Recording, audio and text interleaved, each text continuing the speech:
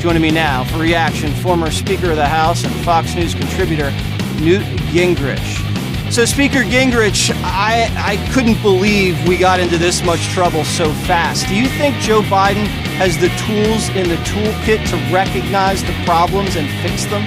Did the brains all kind of just drip out sometime over the last 20 years? I think that Biden is, has very limited capacity to understand and to decide and to articulate. I mean, just watching.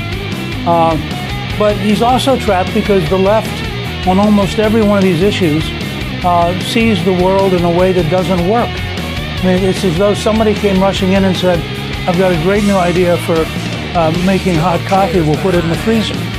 Uh, you could figure out pretty soon that ain't going to work. So, right. take crime. Did the brains all kind of just drip out sometime over the last 20 years? We know the Dinkins and liberals failed. We know that Giuliani succeeded.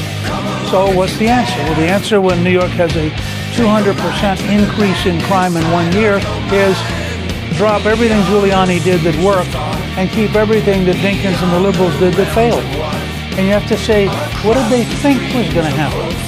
Um, I, I think the pipeline problem is a much deeper problem in that we just paid $5 million to a criminal organization to recruit more people to, to rob more places. Uh, and hacking uh, is, is really a threat to our entire civilization because of the degree to which we all rely now uh, on things that are more effective. ATM machines are great. What happens if the Chinese close them down? Uh, it's terrific to be able to go pump gas.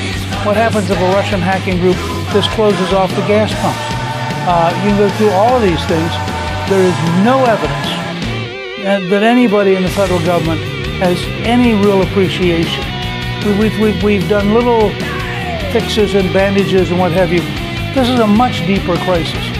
The brains all kind of just drip out sometime over the last 20 years? Great hackers don't work for bureaucracies.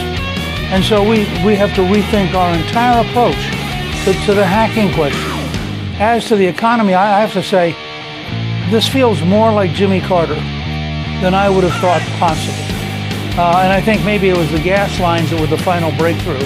Uh, you think about it, you're getting stagflation, which is what they called it uh, when Carter was president. That's when you have stagnant jobs and inflation at the same time. Uh, Reagan put that together into a misery index.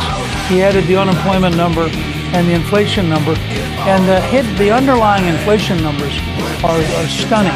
Uh, at, a, at a minimum, the highest rate of inflation since 1982, and at a maximum, maybe even higher than that, uh, because of the way they keep score. Now, you said something that's really important I want to build on, and that is, did the brains all kind of just drip out sometime over the last 20 years? Inflation is a hidden tax. The real Biden tax is disinflation, and it's making every American poorer. You're about 4% poorer than you were a year ago because the dollar doesn't buy as much.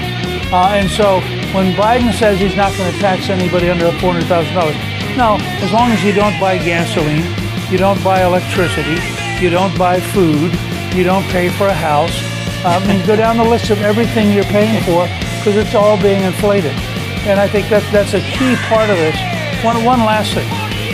The, the idiots who think that electric vehicles are a solution to the cost of fuel forget that at the other end of the line, you have to make the electricity.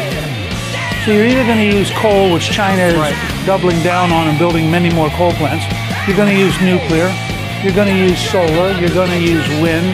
You're going to use oil or gas. You're going to use something. But it's not like, you know, Tesla emerges from heaven and angels drive it around for you. I mean, not only do you, do you have to pay the founder of Tesla, you got to pay for the electricity every single day. Uh, and and uh, I think that that's where it, you have to wonder you know, do, do these people, did the brains all kind of just drip out sometime over the last 20 years? Or what are we dealing with?